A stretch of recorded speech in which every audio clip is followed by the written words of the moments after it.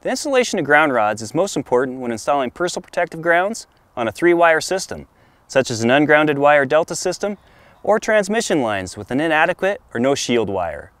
Since electricity favors the path of least resistance to ground, it's important to make sure that your ground rod's resistance is as low as possible. That way, if the line becomes energized, most electricity will go through the ground rod instead of through your body. Now that we know we need low resistance in the ground rod, how do we achieve it? Well, let's go do some tests and find out. Here we have a series of ground rods driven at different depths in the ground. And using this ground rod resistance tester, I'm going to measure each rod's resistance. Our first ground rod is only driven one and a half feet deep and has a ground resistance of 750 ohms. Our second ground rod is three feet deep and has a ground resistance of 440 ohms. And our last ground rod was driven seven feet deep and is reading 123 ohms. As you can see, the deeper the ground rod is driven, the less resistance it has. Think of it like a sprinkler system spewing water from many different holes or paths. By penetrating the earth deeper, the ground rod provides more paths for the flow of electrons, resulting in less resistance.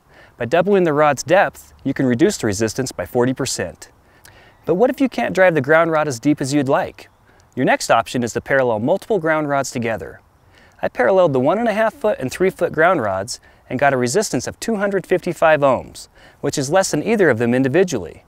If this technique is used, it's important that you create spacing around the ground rods because as current is discharged into the earth, it displaced the same distance around the ground rod as its depth. So if I install two ground rods four feet deep, they need to be placed eight feet apart to avoid overlapping their areas of discharge. If I install them any closer together, the resistance will not be lowered. Resistance is also affected by the type of soil the ground rod is driven into. I drove a ground rod three feet into sandy soil and got a resistance of 750 ohms, which is more than the ground rod driven three feet in the dirt that had a resistance of 440 ohms.